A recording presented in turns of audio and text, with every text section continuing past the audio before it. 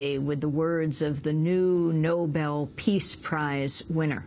Uh, there were three. They were three women. One of them comes from Yemen.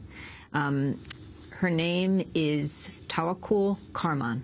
She spoke in New York City at the Brecht Forum in September of 2010 about state violence, targeted killings, and human rights abuses enabled by the so-called war on terror.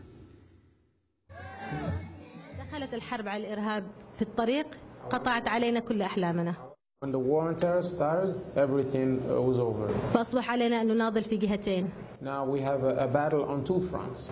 ضد حكوماتنا One against our government ضد الحكومات التي تساند هذه الأنظمة المستبدة في قمع شعوبها and one against the governments that support our government uh, in all the violations that it is committing against its citizens. وهذا ما يعني ما يعني ما يختصره العنوان الذي تفضلوا فيه بالسي سي ار اللي هو ال- اليمن والولايات المتحدة آه، يقيمون حربا آه، يقتلون الحياة تحت مسمى الإرهاب Uh, and this is, in summary, a description of uh, the uh, uh, title of the CCR's report uh, Yemen and the United States government killing innocent pe- people under the name of uh, uh, the, fight, the, war against terrorism. نعم هذا ما وهذا ما أريد أن يعني أن أبلغه لأصدقائنا.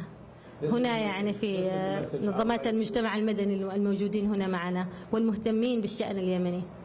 هي نفس This is the message I would like to uh, uh, give our friends here from the civil society organizations that are present here. هي نفس الرسالة التي أوصلناها للإدارة الأمريكية This is the same message that we have delivered to the U.S. administration, وأيضا للأمم المتحدة also to the, to the UN وللاتحاد الأوروبي and the uh, European Union. أننا نحن شركاء من- في عملية التنمية الديمقراطية والسياسية وتعزيز حقوق الإنسان ومكافحة الفساد في أوطاننا. that we are uh, partners in the uh, development of democracy, of uh, the fight for human rights uh, and for civil liberties. Tawakkul Karman, a Yemeni activist and journalist, one of the three recipients of the Nobel Peace Prize, announced on Friday.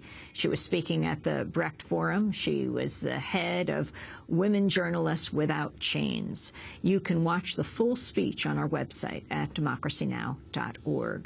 And that does it for our broadcast. Democracy Now! has two job openings. We're hiring a part-time camera person to work Mondays and Friday morning shifts. We also have an immediate opening for an experienced audio video archivist. For more information, you can go to democracynow.org.